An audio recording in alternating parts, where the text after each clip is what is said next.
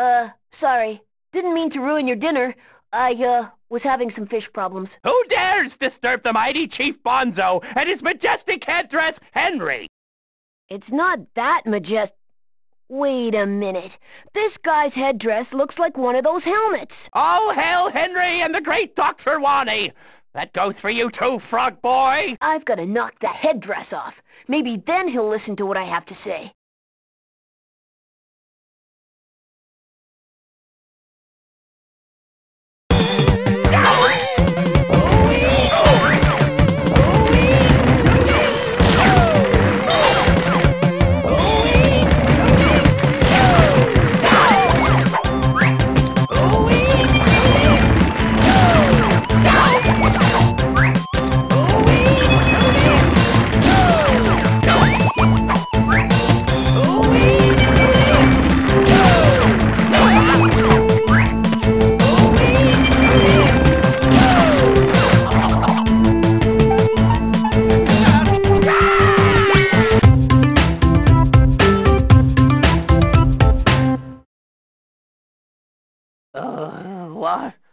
What happened? Where am I? My headdress. Oh, Henry! No! Who did this to you? Chief, I had to knock off your headdress. Oh, you killed Henry. He, I mean it, was controlling your mind. I had to get it off your head. Are you okay now? Yes, I'm okay. But what happened? Who put all this metal in my headdress? Henry doesn't like metal. It shapes his feathers. I'm trying to find out where all these helmets are coming from. Do you know anything about them? It's that big bully Dr. Wani's fault. He slapped that evil Henry imposter on me and forced me to create a monster in his factory to guard the map that shows where his hideout is. Okay, I think I got all that. Can you tell me where the factory is? No, Henry could, but you killed him! might want to follow that path outside, though. Thanks for the information, Chief. I'll head over and check it out!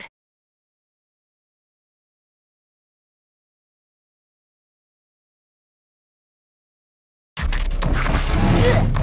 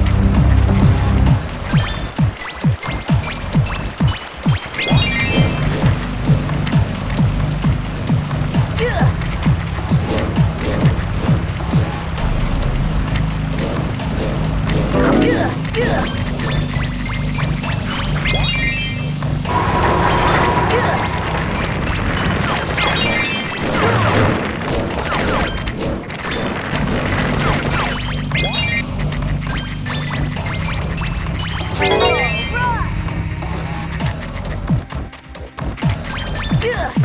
Ugh!